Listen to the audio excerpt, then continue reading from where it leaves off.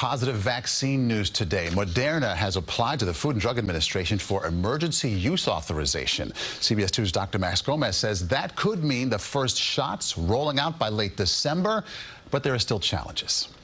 Moderna is the second U.S. company after Pfizer to release its full trial results and apply for EUA, emergency use authorization. The company says its vaccine was just over 94% effective against COVID-19 and importantly seemed to completely protect against severe disease and death. Also significant was that Moderna included a diverse population. Among its 30,000 volunteers, were 3,000 black Americans and 6,000 Hispanic participants. The federal government will oversee a centralized system to order, distribute, and track COVID 19 vaccines. All vaccines will be ordered through the CDC. Vaccine providers will receive vaccines from CDC's centralized distributor or directly from a vaccine manufacturer. Among the issues are supplies for the shots, including proof of vaccination cards. Specialized equipment for transportation and distribution will be required.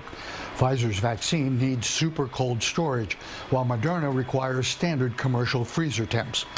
Huge numbers of staff must be recruited and trained to handle and give vaccines.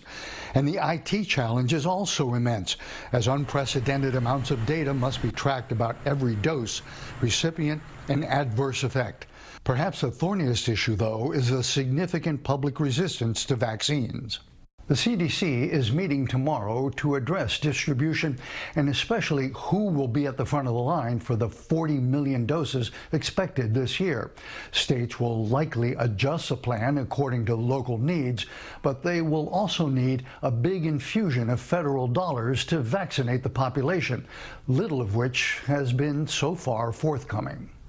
Dr. Max Gomez, CBS 2 News. And stay with CBS 2 for continuing coverage of the pandemic. And check out our website for the latest restrictions by state, plus testing information and a guide for remote learning. It's all there for you at cbsnewyork.com.